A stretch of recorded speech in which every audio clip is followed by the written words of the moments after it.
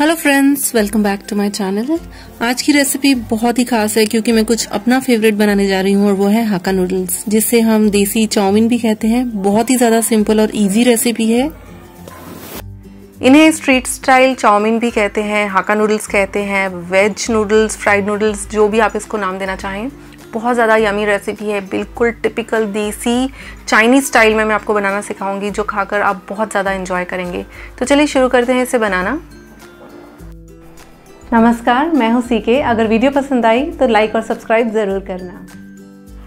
इसे बनाने के लिए सबसे पहले हमें नूडल्स को बॉईल करना होता है। हाका नूडल्स यहाँ पे मैं यूज़ कर रही हूँ। उसके लिए किसी भी पैन में या पतीले में आप इस तरीके से पानी डाल दीजिए। थोड़ा सा बॉईल आने के बाद इसमें नमक ऐड करेंगे। नमक इसलिए डाल रहे हैं ताकि जो नूडल्स है अपने अंदर थोड़ा सा नमक जो है अब्सॉर्ब कर लें। अब जैसे ही बॉईल आने लगता है, इसमें आप ये सारे नूडल्स डाल दीजिए। यहाँ पे मैंने दो पैकेट यूज़ किए हैं जिसमें तीन लोग खा सकते हैं आराम से।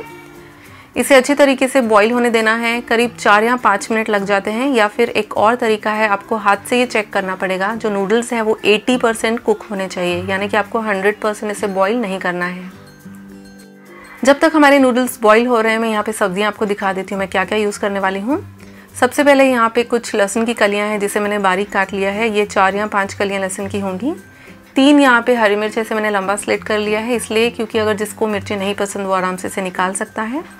साथ में आधा मैं इसके अंदर प्याज डाल रही हूँ, जिसे लंबा स्लाइस किया है। ऐसे ही अच्छा लगता है। थोड़ा सा मैंने ग्रीन अनियन लिया है, बहुत ज़्यादा नहीं डाला है। बट इसमें ग्रीन अनियन यानी कि जो स्प्रिंग अनियन है, उसका बहुत अच्छा फ्लेवर आता है, इसलिए आप ज़्यादा भी डाल सकते हैं। साथ में स्लाइस्ड यानी कि लंबे लंबे मैंने काट लिया यहाँ पे कैबेज और यूज़ करेंगे शिमला मिर्च।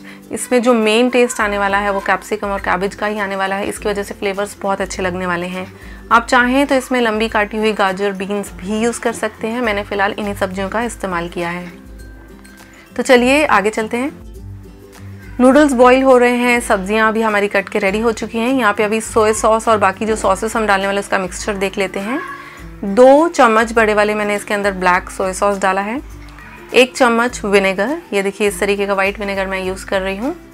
एक चम्मच मैं इसके अंदर डालूँगी केचप और एक ही चम्मच हम इसके अंदर डालेंगे चिली सॉस ठीक है, यहाँ पे मैंने रेड वाला चिली सॉस यूज़ किया है। आप चाहे तो ग्रीन वाला यूज़ कर सकते हैं या तीखा नहीं पसंद करते हैं तो चिली सॉस को स्किप कर सकते हैं। सारे सॉस को इसलिए मैंने एक साथ मिक्स कर लिया है ताकि बाद में एक एक डालना थोड़ा सा मुश्किल हो जाता है, क्योंकि इसमें बहुत जल्दी हमें मचानी पड़ती है। तो चलिए सॉसेस तो रेडी हो चुके हैं। यहाँ पे हमारे जो नूडल्स है, वो भी बॉईल हो गए हैं। मैं हाथ लगा कर देख रही हूँ कितने कुक हुए हैं। जैसे कि मैंने आपको पहले भी बताया हंड्रेड परसेंट कुक नहीं होने चाहिए। आपको एटी परसेंट इसे कुक करना है। थोड़ी सी इसमें कसर रहने देनी है। ज़्यादा अगर नूडल्स पक गए तो कितनी भी कोशिश कर लीजिए, आपके नूडल्स टेस्टी नहीं बनेंगे। थोड़ा सा क्रंची पन इनमें होना चाहिए, तभी ये टिपिकल चाइनीज़ हाका नूडल्स लगते हैं। चलिए स्ट्रेनर में मैंने इसे छान लिया है। मेरे पास वैसे कोई खास अच्छा वाला स्ट्रेनर है नहीं, ये छलनी है जिससे हम आटा छानते हैं। उसी में इसे छान रही हूँ। छानने के बाद इसे एक दूसरी प्लेट में, थाली में हम फैला कर रख देंगे ताकि ये हवा के नीचे थोड़े से ठंडे हो जाएँ और आपस में ना चिपकें। यहाँ पे आप चाहें तो थोड़ा सा इसके ऊपर रिफाइंड ऑयल डाल सकते हैं मिक्स कर सकते हैं ताकि ये स्टिक ना हो जाए एक दूसरे के साथ। वैसे मैंने कोई भी रिफाइंड ऑयल नहीं डाला है। अगर आप तुरंत ही इसे निकाल कर इस तरीके से फैला देंगे फ़ैन के नीचे तो ये आपस में बिल्कुल भी नहीं चिपकेंगे। चलिए इसे होने देते हैं ठंडा। अब करते हैं तैयारी तड़के की। चाइनीज़ तड़का जो हम इंडियन स्टाइल में लगाने वाले हैं।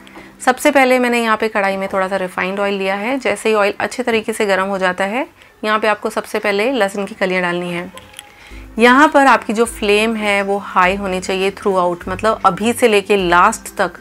आपको एक सेकेंड के लिए भी अपने गैस की फ्लेम लो या मीडियम नहीं करनी है। चाइनीज़ का यही एक रीज़न है, ज़्यादा अच्छा टेस्ट इसलिए बनता है क्योंकि उनकी जो कढ़ाई पैन होती है, बहुत गर्म होती है हाई फ्लेम पर होती है और उसी से वो पूरा क्रंचीनेस आता है। लहसुन के बाद मैंने तुरंत इसमें ग्रीन चिलीज डाल दी है। धीरे धीरे करके बाकी सब्ज़ियाँ भी डालेंगे। ज़्यादा सौते किसी भी चीज़ को नहीं करना है। हमें सारी चीज़ें इसमें कच्ची ही रखनी है। जो हमारे इंडियन रेसिपीज़ होती हैं, उसमें हम हर चीज़ को बहुत ज़्यादा पकाते हैं। और चाइनीज़ रेसिपीज़ में हर चीज़ हम कच्ची यूज़ करते हैं और वो उसी तरीके से अच्छी लगती है। चलिए चिलीज़ डालने के बाद तुरंत ही मैंने इसमें प्याज डाल दिया है। इसे भी बस दो मिनट के लिए हाई फ्लेम पर सौते करेंगे और दो मिनट के बाद हम बाकी सब्ज़ियाँ इसमें ऐड करेंगे। अगर आप बीन्स यूज़ कर रहे हैं या गाजर यूज़ कर रहे हैं तो आपको प्याज के साथ उन्हें भी डाल देना है बट क्योंकि मैंने वो दोनों चीज़ें नहीं यूज़ करी हैं तो यहाँ पे पहले मैं प्याज सौते कर रही हूँ और इसी के साथ मैं डाल दूँगी अभी पत्ता गोभी। पत्ता गोभी को भी हाई फ्लेम पर पकाना है, दो मिनट के लिए, दो या तीन मिनट और सबसे लास्ट में हम डालेंगे कैप्सिकम यानी कि शिमला मिर्च, क्योंकि सबसे ज़्यादा क्रंची फ्लेवर जो नूडल्स में आता है, वो शिमला मिर्च का ही होता है। तो अगर उसे आपने पहले डाल दिया तो आपका जो चाइनीज़ नूडल्स है, पूरा स्पॉइल हो जाएगा।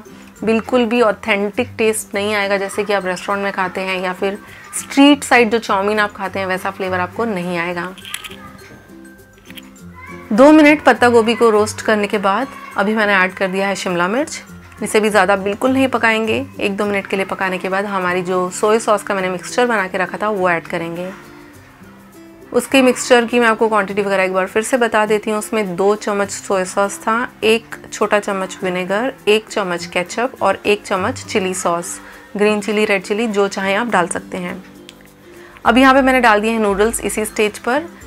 यहाँ पे आप थोड़ी सी गैस की फ्लेम थोड़ी सी लो कर सकते हैं ताकि नूडल्स ना जलें। बट आप तुरंत ही अगर इसके ऊपर सॉस का मिक्सर डाल रहे हैं तो नूडल्स बिल्कुल नहीं जलते हैं। मैंने यहाँ पे ये डाल दिया, अब इसे अच्छा सा कर देंगे मिक्स आपको इसे अच्छे से स्टर करना है, लेकिन ध्यान रखें कि आपके नूडल्स टूटे ना या एकदम वो गला हुआ फ्लेवर ना आए तो बहुत ध्यान से इसे आप स्टर कर लीजिए। सबसे लास्ट में हम इसमें नमक और काली मिर्च का पाउडर ऐड करेंगे, जिससे फ्लेवर और ज़्यादा अच्छा होगा। एक और चीज़, जब हमने नूडल्स को बॉईल किया था, तब नमक का इस्तेमाल किया था प्लस जो इसमें हमने सॉसेस वगैरह डाले हैं, उनमें भी नमक होता है। तो जब भी आप सॉल्ट डाल रहे हैं, बहुत ध्यान से डालें, कहीं वो डबल ना हो जाए। तो ध्यान से आपको इसमें सॉल्ट डालना है स्वाद अनुसार, और थोड़ा सा काली मिर्च का पाउडर जिससे फ्लेवर और इन्हांस होगा। जो स्ट्रीट साइड चाउमीन होते हैं, या हाका नूडल्स होते हैं, उनमें वो लोग अजीनोमोटो यूज़ करते हैं, जो कि सेहत के लिए बिल्कुल अच्छा नहीं है। मैंने कुछ भी वैसी चीज़ यूज़ नहीं की है। उसके बावजूद भी ये जो नूडल्स आज बने हैं, उतने ही टेस्टी उतने ही मज़ेदार बने हैं।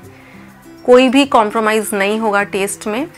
अब इन सारी चीज़ों को मिक्स कर लेंगे और यहाँ पे लो फ्लेम करके आप इसे दो या तीन मिनट के लिए इसी तरीके से गैस के ऊपर रहने दीजिए।